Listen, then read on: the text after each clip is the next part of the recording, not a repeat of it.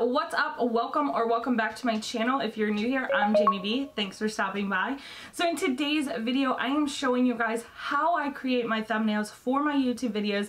I'm going to place the screen obviously over me talking and walk you through everything that I use and do in order to create my awesome, fun, jazzy thumbnails. And if you guys are wondering how I got this makeup look, then go ahead and check out the video right here. I uploaded it yesterday.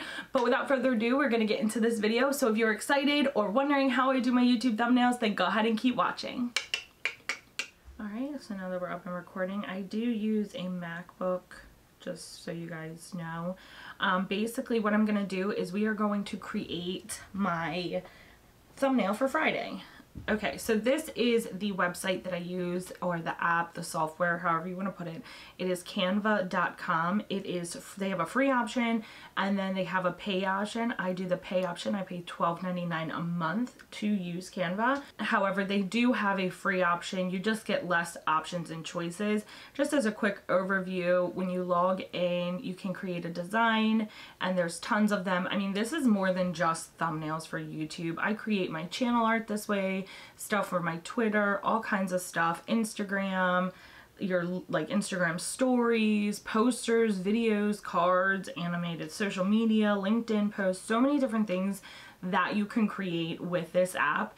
Um, you can store all of your designs. Like I have so many designs in here from so long ago from when I first started using this. Like this was back I believe in like oh gosh the beginning of 2019 because I was still pregnant. So yeah, this like it stores a lot of different stuff. So I just want to go here and usually I will click on here and just edit this already done thumbnail but I'm going to show you guys step by step what I do. They also have an app However, I don't like the app. I don't like using the app. There's nothing I like about the app, so I don't use it. I always just use it on my MacBook. So I go to create a design. Now I can type in YouTube thumbnail and just make sure it's 1280 by 720p. That's what you want. That is the perfect size for a YouTube thumbnail. You can type in literally anything you're looking for. Now, they have these, which are like recently used templates and stuff like that. But I'm going to go through each of these options down here before we get started. So you have uploads. Basically, this is every photo that you upload that you want to use. They also have videos and um, audio, but those won't be used for thumbnails.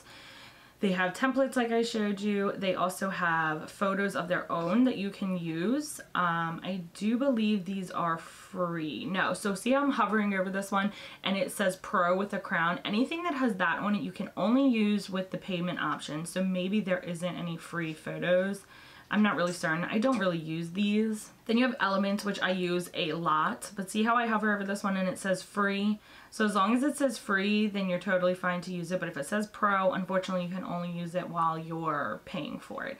But there are so many different stickers, um, shapes, lines, blurs, whatever. So you come over here and you can literally make this a background, but like blur it out um, it's just really, really, there's so many things. Like if I typed in makeup, like, I don't know why I did that, but if I type in makeup, you get so many different cute things that you can add to your thumbnail if you want to. So text is pretty self-explanatory, but you have a heading, a subheading, and a um, little bit of body text. I just use the add a heading and I will edit my text using these features up here and effects. Uh, I don't use the smaller ones. I don't find the need for it. And delete is over here. So they do have pre-selected like templates of um, font and stuff that you can use and you would just double click and edit it but I like to do my own and I usually use the same font every time. I do recommend that it be something that you use consistently. If you want to spice it up every now and again you can, that's totally fine. I do it a lot um, but for the most part I use the same font every time just to make it nice and clean when you're looking at my page as a whole. So then they have styles which just gives you like different styles of text and background and stuff like that which again I don't believe is something I would ever use for my thumbnails, audio, video. Again, two things I don't use for thumbnails.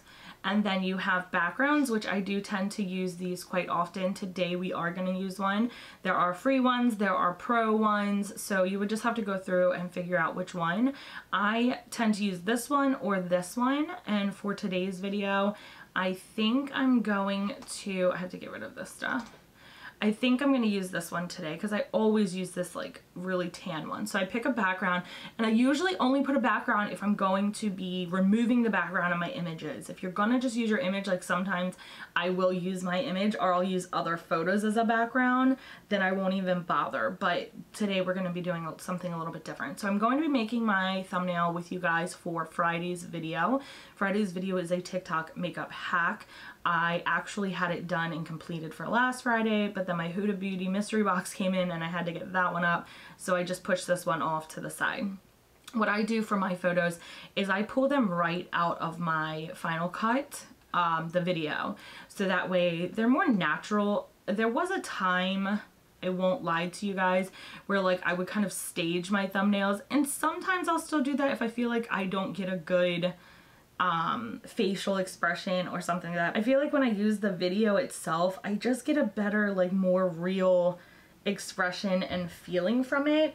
So I just really prefer to take snippets and save screens out of my videos. I do not screenshot them. That's not what I'm saying. In Final Cut, there's an option to literally save the um, frame that you're on. So like this photo is a saved frame from the video and I thought that it was fantastic and it would be a good one to use. So we're going to do that and I do get a couple other things. I knew I would need the TikTok logo and then I have a couple people who I chose to try their hack so I'm going to add them into it. So they're actually going to go first. I'm going to delete that. I try to work from the back to the front of the photo. That way it's less moving. So I'm going to pick this one and I go to effects and I remove the background. It may not remove the bottom text, but we can crop that out. So while it's removing the background, let me go ahead and show you. There's filters, there's adjusting, which is brightness, saturation, color, all of that stuff that you would use to adjust a photo. Also, if you hear my MacBook making like vacuum noises, it is because unfortunately it is gonna heat up because I'm doing a lot of movement. So just please ignore that sound. And then you can crop a photo, you can flip it, you can change the position of it. It's like it's getting louder the louder I talk. And then you can also make a transparency. And this one is lock, where you lock it into place, which I like to do that way it's not moving around as I'm changing things. So we're gonna make it a little bit bigger and kind of get rid of the letters, like the type, the text down there. So we can have her all the way in here like this. And then I'm gonna come over here and get this one. And these all just have everything to do with what I did in the video. It also gives them credit too. I'm real big on that you know, I don't want to sit here and ever take somebody's shine or take their idea. So I just love to do this because I feel like it really gives them credit. And now removing the background usually does like a fantastic job, okay? It usually does pretty good. Um, sometimes I will have to go in there and kind of do my own thing to fix it. I want to get rid of some of her text too. Um, so I'll show you here with this one.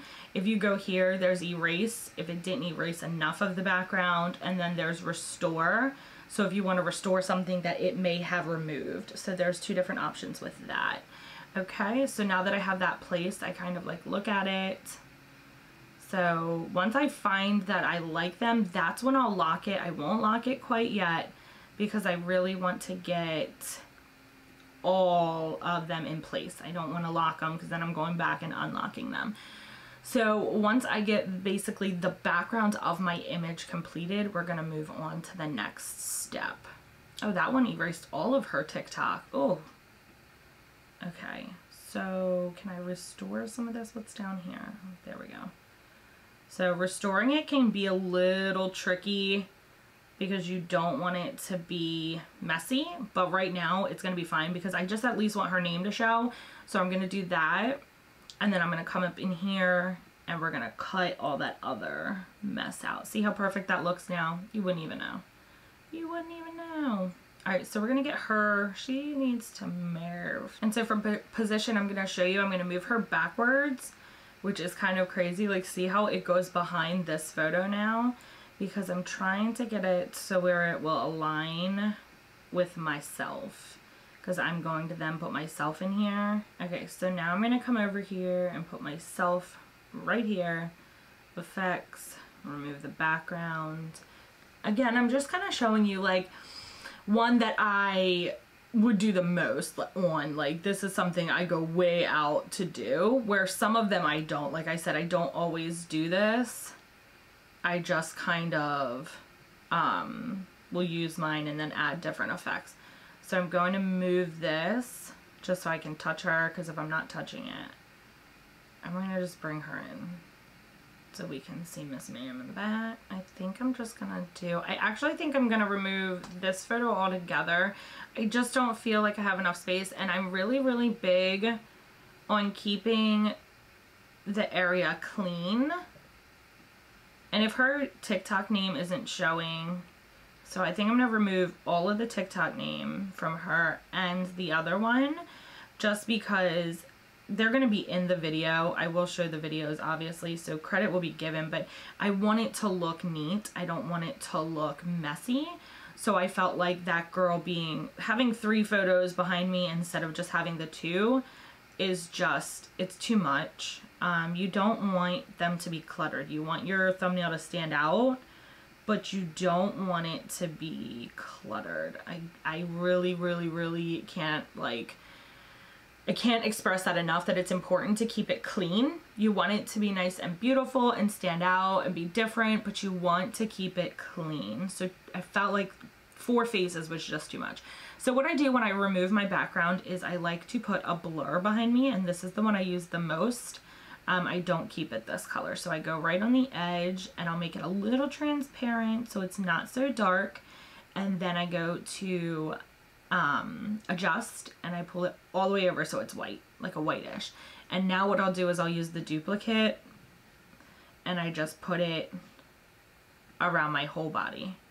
That way I stand out from the other two photos, whatever they may be, whether they're people, whether they're products. So now that I have those blurs placed, I'm gonna click on my photo and I'm gonna bring it forward. Bring it forward, bring it forward, bring it forward, and just keep clicking until you're in front of all of those blurs but see how now like I'm standing out I'm no longer just blending into the other photos or the backgrounds so I'm gonna go now to the uploads where I got I thought I had different a different TikTok symbol maybe not I think that this one actually comes with a TikTok symbol let me see TikTok Oh, it does. Okay. So, and it's free. So instead of using my upload and cropping it, I'm literally just going to put a symbol here and duplicate it and then put a symbol here.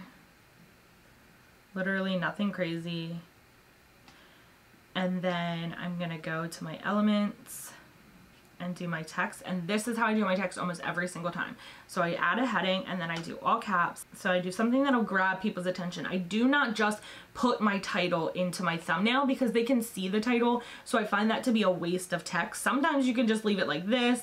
You don't really need text a lot, but sometimes I like to just like give it like a little zhuzh. So I'll be like, oh my God, no and then so that makes people curious as to like oh my gosh what is happening? So then I go to my favorite font which is Anton. I think I'm saying that right and it'll change it. And then I go to effects. You have all different kinds of effects here. You can make them bubble you can make them glow you can make them curve. I use splice and then I make the inside white. And then I'll come here and make it real thick and then make the offset gone because I don't like the offset so then I will find a place that this can go and usually it's up in the corner. Again, sometimes I'll be like, oh, I don't like the text and I just leave the text out completely because people understand, they see the people behind me, they see the thumbnail or the TikTok symbols and they're like, okay, cool, we understand that this has something to do with TikTok and makeup. However, I do like to add like something like I did here, like, oh my God, no, because people are to be like, oh my gosh, what is happening? I find that it's very, very important. I'm to go ahead here and finish this and then I'll go ahead and explain that to you guys. So what now what I do is I download it. I do it as a PNG. I don't need to do any of these. You don't want to compress it. It will lower the quality and that is not something that you want. So I download it. And it's literally that easy. You can continue editing it you can continue editing it if you find that once it's big like this, you don't like it, but I absolutely love this. I think that this turned out really, really good, and I'm super excited for you guys to see this video. Like, I really had a lot of fun filming it. So now I'm gonna close out. It will save this. So if I go here and I go home, it will be here. So say I come back and I'm like, oh, it's still downloading, but say I come back and I want to edit it again.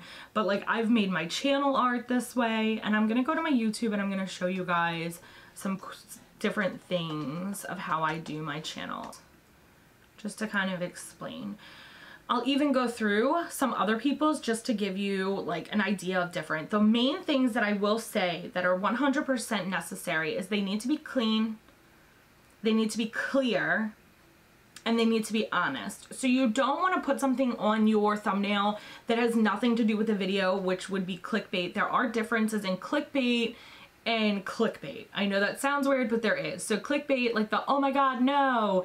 And then there's clickbait to, I burnt my eyelashes completely off. That's a lie. That's not, that's not clickbait. It's a lie. So I'd say clean, clear, and honest but you want it to stand out and that's really important. So if you come here to the Welsh Twins debunking stupid five minute, they have no text, which is totally fine. They have photos of what they're doing. They have arrows and stuff and like you can circle your photos just to bring attention to what you're doing. Um, but it doesn't always need text. If you actually come in here, a lot of thumbnails do not have a lot of text. They just don't. So this one is dip powder nails. Like that's it. It's just pictures of her hands. So, and her video is doing fine. I find that I do love Bailey Sarian's, um, but sometimes they can get a little bit cluttered. I love her videos. I watch them all the time, but sometimes they can be a little bit cluttered, but that's just her technique and her way of doing things. So, and then you have this one where it says, it burnt my skin, Amazon, and I'm sitting here like, what burnt your skin? What does that have to do with Amazon? I want to click it, right? And then this one over here with the no ch credit check. Um, it doesn't really tell me, it just says 10,000 whatever, but that's not what I'm looking at. It's the card because he has an item up front in your face. You know what you're dealing with kind of situation. So again, I just, like this is one of Bailey's that kind of is like, it's too much. This one where five strange unsolved missing cases. To me, it's just a lot. So I don't really prefer thumbnails with that much noise. But again, to each their own, I just want to tell you that they need to be clear, clear, clean, and stand out. That's what you're looking for. You don't want a blurry photo. Don't just leave your thumbnail a picture of the video because YouTube automatically does that and then just type over it. You want it to be clean. So if you can't take a photo or frame out of your video, then I recommend even staging your photos and taking it with your iPhone and uploading it as a thumbnail. So this right here, my channel art I made on Canva. I absolutely love it. It's one of my best channel arts. I have been making new channel arts, gosh, every couple of months. And this one is my favorite, absolutely, because it really just tells you guys who I am and my personality in a simple photo. Like 100% this is me. so, and then if you come down here and you just look at my thumbnails, sometimes I use text, sometimes I don't. This one has no text in it and then there are a lot of the times I'll use like just little symbols or there's no text in the Jacqueline one. So it just really depends on what I'm trying to put out there um, whether or not I put text. Like this how to plan your YouTube video I hated that one. After I watched it and like looked at it and still looking at it I can go back and change it but I just haven't uh, it's just too much. It's too cluttered. So then you have ones like this five below one where it's just literally me with bags that say hidden gems. So I just try to keep it clean, but I also want it to stand out. I want it to be different. If you look down long ago, I did a lot of yellow and black because B is my thing, but I felt like yellow just wasn't doing it for me, but these are all staged photos, okay? These were not clips, these are staged photos. They look like staged, staged photos and I just don't like them. So I do make sure that I go and I just actually take my real expression out of the video. Some of them are darker, some of them are lighter, so you just want to make sure that they're consistent. Mine have not been, look how dark those are. So it's all a learning curve, honestly. I've practiced some with just backgrounds like this, so it just depends on what you want and what you like don't be afraid to experiment and try new things. I just don't recommend just putting up whatever thumbnail YouTube picks because you're not going to stand out. The big, big thing you want to do on this platform is stand out because a thousand people can put up the same video, but if you don't stand out, you're not going to be picked. They're going to move on. So I think it's very important that your thumbnails stand out as much as possible without being crazy and too loud. So I just, it depends on what makes you happy. Like I said, if you want them to be loud and crazy, you can. This is not me saying that you're not allowed to do something that you want to do. You're 110% allowed to do something that you want to do, but you really just 100% want to make sure they're clean and they're well kept. You want them to stand out, but you don't want them to be too loud. It's a complicated process and sometimes frustrating, but we will get through this in the end. And it's, like I said, it is a learning process. I have grown so much from when I first started in 2018. So, so, so, so, so, so much. So I just think that it's definitely not something you just wake up one day and know how to do, you know, and people who have been doing it for 10 plus years are going to do it much better than we ever could, and they probably have to put less effort into it. So this is the final product of my thumbnail that we created today. I hope that this helped but um, that's basically it and then when I upload the video I haven't uploaded the video yet I just upload this thumbnail and it's good to go. And I feel like it's clean, it stands out, and people are wondering, holy crap, what happened with the oh my god no? You know what I mean? So just stuff like that. Like this blooper one I did it says this is why I'm not famous I've only gotten 14 views on it and unfortunately those videos don't do very well. Um, but I do have one subscriber Tammy who loves them and I won't stop doing them simply because one of my subscribers absolutely loves them and they're fun for me to create because I feel like it really gives you guys a taste of my personality. But something like that, like this is why I'm not famous. It's funny, it stands out, it grabs attention. So I hope this helped you guys. I'm gonna go ahead and hop back on camera for you in just a second. So that is it for today's video, guys. I hope it really helped you learn and kind of like get to know how I do my YouTube thumbnails. I hope it helped you maybe create your own YouTube thumbnails. Let me know down below what you currently use to create your thumbnail, like software-wise. Is it Photoshop? Is it PicMonkey. I know that there are several out there, so just let me know down below what you guys use, but I really do hope that this helped you. Canva is super easy to maneuver and use, at least in my opinion, so I really do love it. I want to eventually try to use Photoshop, but I'm not really certain if I'm at that level of like editing yet, so I'm just holding off. But I hope you guys liked this video. I hope it helped out a lot. If it did, make sure you give this video a big thumbs up for me. Make sure you are subscribed to my channel. I do six videos every single week. You do not want to miss out on those, and I will see you guys on the next one. Bye!